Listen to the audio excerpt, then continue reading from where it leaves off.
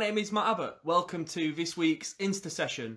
Uh, I founded Nymphs and Thugs five years ago, and in the lockdown, I wasn't really sure how to respond. I'm a bit short on funds, so I couldn't really fund a load of new releases. Um, but I decided to do these weekly Insta sessions, and it's a lovely way for me to get in touch with poets from around the UK and invite them to do really relaxed performances and have a nice, relaxed conversation without the constraints of uh, accessibility and having to fund travel and accommodation. So it's great. I'm absolutely loving it. Um, our next guest is going to be up in a minute, but I just wanted to introduce these sessions and introduce myself.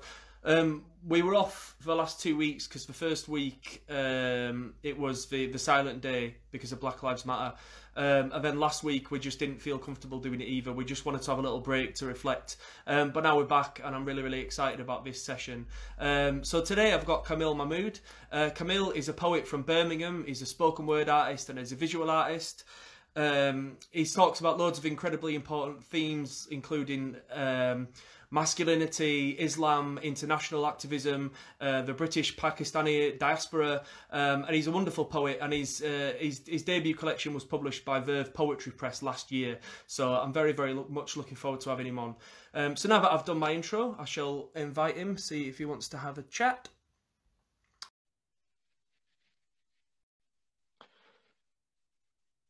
Just wait for it to load up. I'm terrified of technology, me.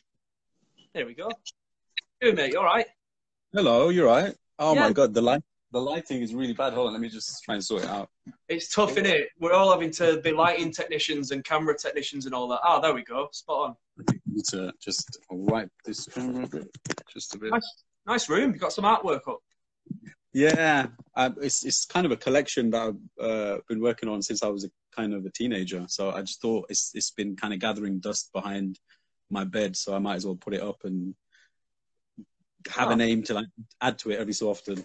Oh, brilliant. So did you start doing that before you started writing poetry or did they both sort of happen side by side or? Um, yeah, so it definitely was before. So uh, I've I've always kind of been like visually inclined ever since I was a kid, um, and I kind of came into writing probably about five six years ago. So yeah, if anything, I think when I started writing, kind of the visual art side kind of took a back seat, and now it's sort of.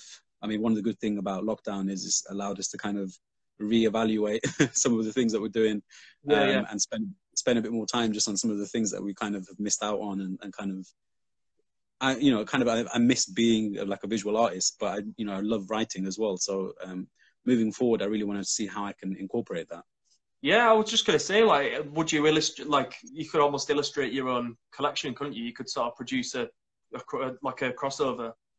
yeah well I did actually with Mute Men I illustrated it Oh. I didn't realize, I didn't realize that. Sorry.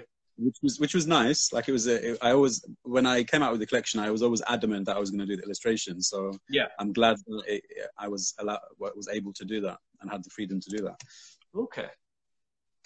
Well, I shall, I shall, I shall purchase a copy uh, as soon as we finish this. Uh, I've obviously seen your stuff online, but I've not got a copy of your collection yet. Sorry, Uh, my list of books to read is so big, it's, un- it's unreal. Um, Trust me, my, my bookshelf is full of so many books that I haven't read yet. So I've kind of made a uh, uh, a goal to not buy any more books until I at least read a decent chunk of those, because yeah. otherwise I'm just wasting paper. I think. Men Stuart at Verve keeps putting out all these amazing new collections and pamphlets, and it's Mm. really difficult to stay away, isn't it? Yeah, and I always feel like I need to buy them because they're always Yeah, really good. Um, and you know, it's it's great that the that the, the press has so many writers on it that I admire. And you know, me coming into writing, Nafeesa was a really really good, big inspiration. Amerah was a big inspiration. Casey, like pretty much, it's kind of like the the the Verve family is like a, it's like a family in itself, which is great. Um, Yeah. and Yeah, Birmingham yeah, seems very absolutely. supportive as well. Yeah, yeah, yeah, definitely. It's about time that Birmingham was in the spotlight, really.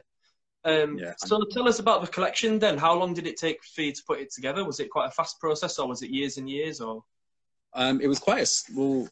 I guess if I compare it to years and years, it was quite quick. so I did it within a year. um, I think I was I set myself the target of doing it in six months, but then because I'm a dentist, um, uh, I started a job as a as a Max Fax SHO at uh, Queen Elizabeth Hospital, and that just just knocked me sideways. Like I really have so much respect for junior doctors because we were just thrown into it, and um, even when the collection came out, I'd started that job, so it kind of um, leading up till that, there was a lot of new things, a lot of distractions. But writing, like I always try to make time to, to write and editing. Edit, you know, you probably know this yourself as a writer. It's, it's the editing that takes longer than the actual writing. Yeah. Um, because you really, you know, once it's in page, you really want it to be as perfect as you you want. You you know, you want to be able to look back at it years later and and and not cringe at your own work. it's a big pressure, isn't it? It's a big pressure. It is a big pressure. Yeah, cool. Well, do you fancy reading us a poem or two from the yeah. from the collection? Yeah, so I actually, in terms of the set, so I've got a few of my old poems, but I've been writing so much. During the, I mean, you, you know, you probably vouch for this, but I think a lot of writers during this period have been writing because it's sort of, what else can we do? Uh, um, so yeah, I'm going to do a couple of old pieces. Um, old, by old I mean like they were written a year ago, so I don't know if it counts as old. Pre-lockdown um, is old. Yeah, yeah. it's a brand new world now. cool. Yeah, so I'll just get into it. So this piece yeah, is called Jali. Jali is uh, Punjabi Mirpuri for um, uh, netting in curtains. Um, so, yeah. Outside, there is no hint of autumn, just a veering road of cramped terraces, built when Victoria was empress, now home to children she would never own. It affords no room for trees, only the exchange of midday scents of tarka, more morning than coffee, Unemployed boys are pendulums stretching their legs, watering tarmac with phlegm. Disputes echo like shunned car alarms. Jalis flutter. If left out of place, children will be scolded. Who are we to be so brazen? To expose the cleavage of housework attire. Life is a wedding duel, blasting uninvited neighbors, death and ambulance, rodent, tales of traffic made to wait, there is me at six asking why we don't go to pubs or how tomato juice tastes. Me at seven asking mum to save for college like in every American movie. Me at eight refusing to walk side by side with Bogey Girl. Me older, wincing at how young Mrs. Ali's son was, how he would make her breakfast in the morning, and vowing never to speed. Me an adult, congratulating him on his dissertation before the manslaughter charge. Me an adult, dulling the corners of my words so they won't cut it's not fair. More cars than houses. Next door, a cone straddles a disabled spot meant for everyone. But they call the council, so to them it's another extension. The other one double parks. Now dad is waking early to move our car from Stratford Road closer, and mum is sending potentials on the family group chat. It seems inane to ask if there will be trees. So yeah, so that's Jali. Nice. I love that it's my homely piece. So I, yeah. I, always feel like when I, when I perform it, I always feel like it reminds me so much of my street, and everyone kind of has their road and the stories that happens in their road and the sense of their road and that familiarity.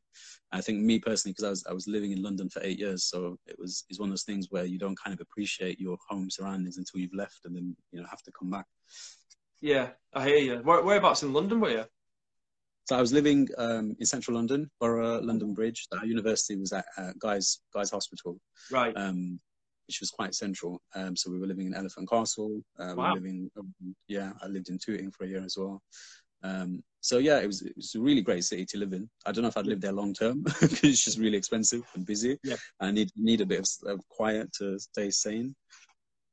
Yeah, you definitely appreciate wave like I'm from West Yorkshire and I live in London at the moment and you definitely do appreciate it when you go back there it's yeah but it's yeah like you say it's a great city to live in um yeah anyways sorry enough about me I, uh, do you fancy reading a few more from from the collection yeah. I, I love that yeah. one that was a great opener Thank you. So, okay, I'm going to read Pedigree. Um, so, this is for the families separated at the border by the Trump administration and for families in general that are separated by politics. Labored apologies swept in servitude to lesser men. Cogs flicker, strangled by forced words, on brown paper passed into soiled laps. Sometimes, if the wind is right, you can hear the wrongs of ancestors, stranger to you than presidents of men, pedigree of myth, you, a moon in perigee, jealous at our lakes, your sin, a languished dog, sniffing at the kennel of relevance. I wonder if to you we look the same.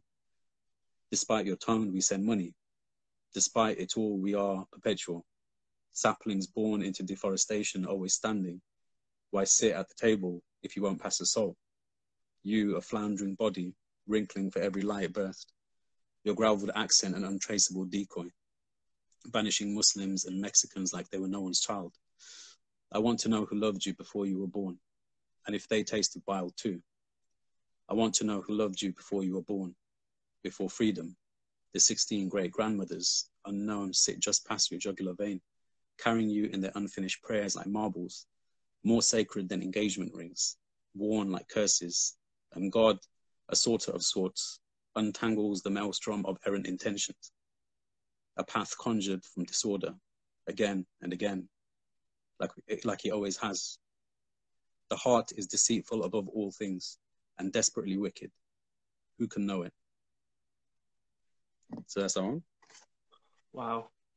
That um carry on in your dreams like marbles, that's just phenomenal. Like, yeah, that's beautiful. Thank you, thank you. Do you um so I guess you, you, write about activism and uh, international activism and uh, do you ever feel a little bit overwhelmed by it and feel like because I'm guessing, obviously, if you are you are active, like you, you're constantly reading the news and keeping up to date on Twitter. Do you ever feel like you need to just escape from it for a bit, or is it just something that you're constantly looking to write about? Sorry, that's a weird um, question. No, I think I think definitely. Um, firstly, there's so much out there. There's so much crap happening in the world. There's so much that we just don't know, just in terms of like the way we've been educated, the history we've been taught. So, in terms of unlearning the the, the pile of crack crap that we've learned. um, yeah. It does take energy, and I'm not. I'm not. Um, I wouldn't say I'm great at it. I'm. Tr- I try, um, and I could probably be better. Um, my my advice is to find other people who really do know their stuff. Um, in terms of uh, taking a break, I mean, I, personally, I find it difficult to. I don't really like pick a topic and think, oh, let me write about this topic. It's more a case yeah. of there'll be something specific in that topic that makes you reflect on just life and yourself and your place in the world. Um, and for me, I feel like poetry is such a powerful thing um, and such an underrated, uh, such an underrated, powerful thing in the sense of the ability to kind of refine words to have that impact. Um, we look at that as you know things like marketing or things that go viral, but um, the ability to basically just just reflect on kind of current issues and yeah. um, be able to kind of discuss that in a way that is engaging to a lot of people um, I think is a, is a gift in a way. Twitter, you know, I, I chat so much nonsense on Twitter, but I love Twitter. um, I think is you can get like the most up to date information from Twitter, um, and I think the more we realize about how um, these mainstream, um, uh, the mainstream media itself is is, is co you know owned by the same same group of people who have an agenda. So I feel like as much as Twitter has a lot of um, like trolls on it, and there's a lot of uh, uh, white noise as well, um, it, it, it, offers a great tool to be able to do your own research. And I think we are truly living in an age where we can we can do independent learning. The way we are learning is not by a curriculum. If we yeah. want to go and read a book, we can do that. If we want to go read an essay, we can do that. And there's yeah. plenty of people out that are recommending things. There's plenty of grassroots organizations you can just get in touch with and just be able to speak to people one on one rather yeah. than have to go through emails and that kind of thing. So I do, but you know, personally, I do have to take a break from it as well. Um, I find it difficult to to juggle just life in terms of my career as a dentist, but also creative things and you know developing myself as well because I think yeah, that's the other thing. It's difficult to find time to do that sometimes, but it's so necessary if you want to kind of develop that craft. It takes a lot of time, a lot of um, uh, mental energy, a lot of emotional energy. So yeah. Um, so poetry in itself is is expressive, it can have purpose, but at the same time, it is it is like a therapy in itself. So Ooh. I can use it to relax as well. Yeah, well, this is sort of where I was coming from because obviously, like anybody who writes about anything, you have to take time to develop your craft and you have to really work at it and stretch yourself and challenge yourself as a writer. But also, if you're trying to educate yourself in terms of like unlearning, like you say, when it comes to politics and activism, that's two things that are quite overwhelming. So when you're writing about when one informs the other, that's that's what I was getting at. Really, that's quite a, yeah. a heavy load for you to carry around. But yeah, but at the, at the same time, I feel, I feel like personally, like I'm doing the bare minimum, and I feel like sometimes the the the the um the idea that you are doing a lot is is something that a lot of people it's it's an outer perspective but I feel yeah. like if you really, if you want to really go for it, like you have to always have the idea that you're not doing enough, because that's the thing that will push you to just try and do more. Because the day that you feel like you've done enough, that's it. You'll just stop. You'll stagnate, and you won't yeah. have any motivation to to to continue doing that. Um, yeah, So personally, I don't think I like. There's so many people that I know who are doing incredible stuff, and I just think, wow, like they are admirable. They are doing the stuff, um, and uh, uh, if anything, like if I can learn from them, that, that's an honor in itself. Um, yeah, there's so much people out there doing great things, and um, yeah, me personally, I don't feel like I'm doing enough, and I feel like we all we all to a degree are not doing enough. Like we could all be doing more, but well, at yeah. the same time, at the same time, it's not for me to push people to do that. All I can do is do what I think is right. And the other thing is, I feel like just with activism, with just this learning, with poetry, like the heart at the heart of it has to be it has to be led by compassion and understanding, but at the same time, you know, you can get angry. Like you're allowed to do that. That yeah, that, of course. Yeah. And you know, you, have the artistic license to do that. That's the great thing as well about being a creative. Like you can go out there, you can say what you want and do what you want. Um, and you know, metaphors. Someone taught me, and Nafeesa taught me that you can say whatever you want in a metaphor. yeah, yeah, fair. Nafeesa's stunning, isn't she? She's such an incredible poet. Like she really is. Um, well, I guess that brings us to if you have you got any stuff that you've written recently? Because um, you yeah. know the world has sort of yeah. gone to shit quite dramatically in the last few months. I have a few. So I've got uh, I've got a few new ones actually. It's yeah. I'm just I'm not saying I've been churning them out, but for me, like I've if I if I compare myself uh, to like say six months ago, the rate at which I was writing is just hardly anything compared to just recently, and it's in a blessing in itself. It's a privilege in itself that I don't have to worry about about paying the bills in that sense. Um, so this one's about this one's about just um, kind of the experience of lockdown and just like reflections on thoughts of, um, during lockdown. Um, yeah, it's called Circles. Cool. The dining table does not know why its guests sit two meters apart. Elbows stand like television antennas, the relics of an older world. I flick between Naomi Klein's shock doctrine and clips of most shocking Big Brother moments. A fly on the wall, the eye of the storm. The bed is an organ more useful than any appendix. My spine is skipping rope meandering a purified Thames. Nature is allowed to be noisy now. There's a ghost of that silver goldfish that fell under this same bed 16 years ago, swimming in circles. I dropped its home. A man-made pebbles sprawl like the tide's revenge across the laminate, an afterbirth. But it survived, longer than his name. After he only knew to swim in circles, stirring the water like a baker. Could have been a stroke, might have been the smallness of the tank. It's said an orca's fin flops over when raised in captivity, prostrating to an unseen master. These days, this cage humbles like hunger. I rummage the aisles of this phone's gallery, contemplating if I should upload those holiday snaps from before the planes were grounded. Tiramisu in Rome, a dried fruit stall in Doi Inthanon, dim sum dripping into bowls of bog. But who would that bring comfort to? What's an atlas to a mole besides decent bedding, scrapped and stripped? The seasons out of sync, or perhaps we are. Perhaps we always have been. Our routines left early like an exit wound. Birds braver than usual, singing their ancient songs, sowing their kernels of truth. While we rest between hibernation, silently embarrassed between metamorphosis, wondering what world we'll wake to, what circles will be drawn, what circles will be drawn. Nice. well, that's really deep, man. That's that's yeah. If the one good thing that will come out come out of this lockdown is some of the poetry that's been written during it. That's yeah. just that's yeah, that's beautiful. I don't really know what else to say other than that. It's beautiful. Um, you. Have you got any others like that you yeah. from the? I've got one. Oh, so I've got like another one actually that is on the topic of not just um, not just uh, lockdown, but also what's been happening in terms of um, with the NHS um, and with just our politics and with with um, Corona itself, not just the side of pandemic, but also kind of the politics behind the coronavirus, yeah. um, and just this kind of sinister British performative solidarity that comes with clapping for the NHS and um, yeah, like I wrote this piece and it was kind of it's kind of like my Black Mirror piece.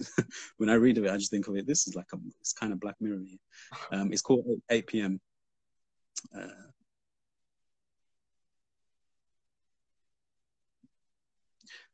It's 7:58 p.m. on a Thursday in the year 2120. A handful of suburbia standing at their doorsteps, waiting to open winter like a present. Some wear wreaths around their necks like Olympic medals, poppies pinned to their Sunday best, walking sticks in their left hands, staffs ready to strike the ground, to part their freshly trimmed lawns. 8 p.m. on the dot. An unknown body, proud to pioneer, brings their palms together and apart, too quick to seal a prayer. It starts like rain, dragged to hail, then uproar and cheers. Soon the air is filled with graduations and weddings and birthdays and newborns. Odin raises an eyebrow. The Queen nods approvingly. The Prime Minister, nowhere to be found. Mr. Pavlov's dogs over the road salivate, and salvation is found for all who seek it. A boy newer to the world turns to his dad and asks, Why are we clapping? His dad shrugs maniacally. I don't know, son, it's just something we do. The boy shrugs back and claps, and claps, and claps. The storm turns to hail, then rain, then puddles. We all nod to each other approvingly. A community of dashboards, smiles, and sighs expelled politely. See you next week. See you next week. See you next week. Echoes from house to house. Doors slam. Curtains close. Teas are brewed. The street is left empty, as it was before, and everyone sleeps easier. That's that one. nice. Yeah, but somebody in the comments there was really keen for you to read that one. I think they're very happy about that. Yeah, that's that's beautiful. Have you been reading that quite a lot? Have I been? Sorry, have I been what? Have you been sharing? Yeah. Um, I've read it. Uh, I think I've shared it a couple of times before. Um, because I'm trying to get into the habit of. I have this thing where I'll write something and then I won't share it. I'll be like, oh, let me edit it. Let me do this and that. But I'm trying to get into the habit of just sharing it there and then because it's sort of I find the process of sharing it, you and it's a lot more helpful when it comes to then editing it because you can actually hear it in your in your. You kind of just reflect on it by hearing on it. Sort of, it's weird. Yeah. Like, it's a poem's like, a poem's never truly finished until you've performed it or shared it. It's weird, isn't it? like you know when you write spend ages writing a blog post and then you you publish it and then you read it back and suddenly you're like no! Like change it. it's really weird like but yeah no i get what you're saying. And obviously with social media and stuff now it's so easy to publish something and delete it in a few days if needs be. Like yeah. it's, it's, great isn't it? Yeah yeah it is it is. Um i've got two more pieces but i'm just wondering if we've got enough time for them. They are yeah, they are relatively i will um, absolutely. Um, yeah absolutely so okay so the, so the next one is um so this piece is just um, i think for a lot of people as well. So the other thing that's been happening during this time is um, uh, for muslims uh, the month of ramadan happened during lockdown which is a really like a very strange experience. But i think for a lot of muslims out there um, the sort of meditative aspect of being in lockdown um, kind of uh, like in the last 10, 10 days of ramadan you have something called itikaf which is where you spend the last 10 days in the masjid. So you kind of it's like a um, it's a form of lockdown that you willingly go into. Yeah. but it's kind of like having a whole month of that. Um, so yeah so um, i find i found during this time just like reflecting on things and kind of reflecting on islam itself and um, like my relationship with god and spirituality and just i think one of the amazing things when it comes to just like a connection and spirituality is reflecting on the gifts that we have and reflecting on something as simple as the ability to see color. Um, so this one's called Year Three Colorimetry, and inspired by it's, it's inspired by a verse in the Quran. Um, it's thirty twenty two. Um, if you want to research it yourself. um, okay. Allah's favorite color must be green and blue. That's the color of the world. In a canteen queue beneath notice boards curating outdated after school clubs, we pick yesterday's residue from dinner trays, undoing scabs, rewriting histories, and unpaid labor beyond our years, while ankles tempt sprains, the price of integrating buckle leather shoes to be grown into. My best friend that year replies, It must be black and gold. Those are the colors of the Kaaba, proclaimed with such prophetic certainty, our unfused joints blameless, after 21 years, I type warily, wary of blasphemy. Does Allah have a favorite color? Google and the ulama say there is no consensus.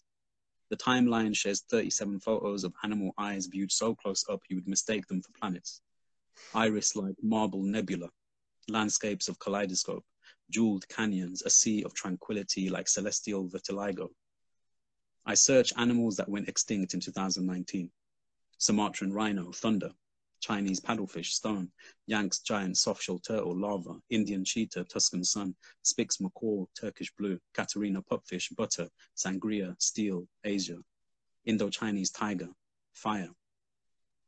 In the shadow of a mirror, I forgive the plainness of my own eye, taught never to turn guests away, a light that traversed the womb of space to find solace in the thankless retina.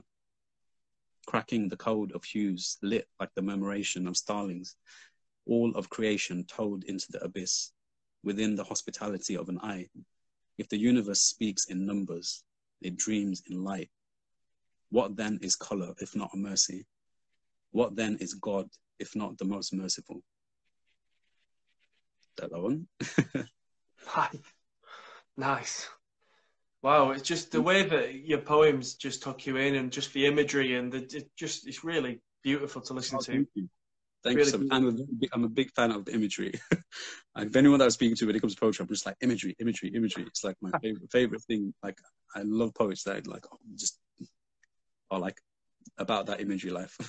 yeah, yeah, yeah. Well, it's it's you do it so well. It's it's wonderful, and I guess the fact that you're a visual artist obviously has some kind of it obviously influences it to an extent. Yeah, but yeah, that's just beautiful. Yeah, I love I love it. I never thought of that. Um, Maybe, yeah, perhaps. Uh, I've never thought of it that way, actually. Um, I have one more. Uh, Do you think we have time for that? Absolutely, yeah, yeah, yeah. So this is one that I've written really recently. So um, I don't know if any of the members are on here, but um, I've st- I um, I'm a member of this writing club, which has just started. So it's about six sessions um, every week, and I, I, it was I haven't been to that many of these kind of writing sessions, but I've been trying to push myself to do to just you know develop myself during you know because you can learn so much from other artists. That's, that's one thing I've learned, and other writers. Um, yeah. And I'm just like it's like I've had a like a like a brain explosion since um, since that. So I wrote I wrote something um, following one of the um, the recommendations by by the reading group, one of the the, the reading recommendations. Um, sorry, I'm just going to try and find it on my laptop. Uh, okay, so it's called Thirst. Uh,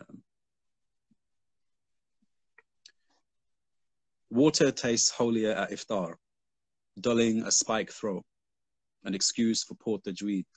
It's not cheating if it's for wudu, slurped from the grail of two palms, gulped with air, a school of bubbles anchored. I force down a whole bottle, practicing compassion with my organs first. I fill a plant pot until the stem is bamboo on an island, sipped in threes, crumbs of breath, chewy kajul, samosa dragged in chutney, when the young ones pine for juice or coke, we tell them the syrup will leave spiders in their mouths. We tell them there are starving children across the world. Dehydration doesn't ring the same alarm as jagged abdomens, a chore of thirst. In Salah, the plasma rushes to my ankles, so quick the ground wavers. To be reorientated in Qibla, a worship in itself, close to fainting, closer to God, thirsty for the wall to talk back to us, some look for patterns in the face of the cup to see the unseen, to know without instruction, known like swallowing with thirst the only necessary stimulus, untaught, a piping hot pan on a touch-starved neck, undoing the knots, ghusl in the shameless hours, drinking cigarettes, swimming without chlorine scratching my sight. I slipped once, slid a whole nautical mile, held underwater in a headlock. The lifeguard rolls his eyes, almost drowned, but at least there was a wave machine in the good part of town the ghost story of the knife and the water slide. The spring showers go unnoticed. Every morning a dry mouth. We forget to drink our fill.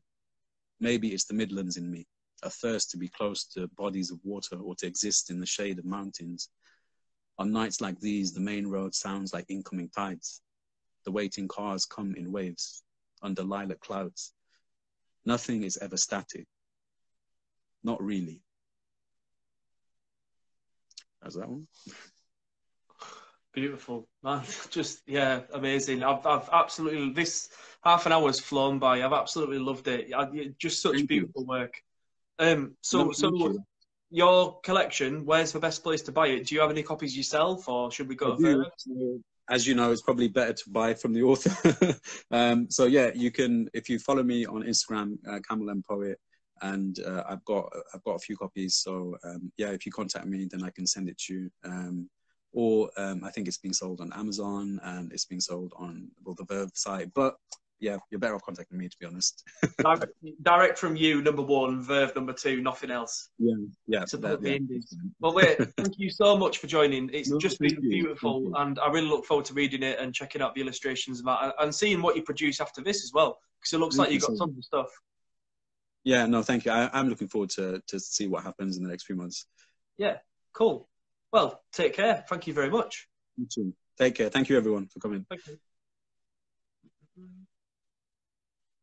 That was a truly beautiful set from Kamil. Check out his collection, like I said. It's available through him directly or through the Poetry Press.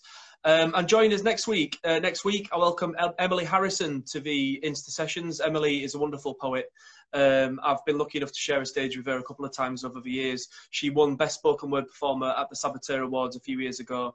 Um, yeah, she's great. So join us next week, 7.30 till 8. Um, follow us at Nymphs and Thugs. If you've got any poetry excerpts that you want to submit, have a look at our feed. I'm always sharing little excerpts from people. Just send us a DM. Um, and yeah, cool. Have a nice week. Cheers.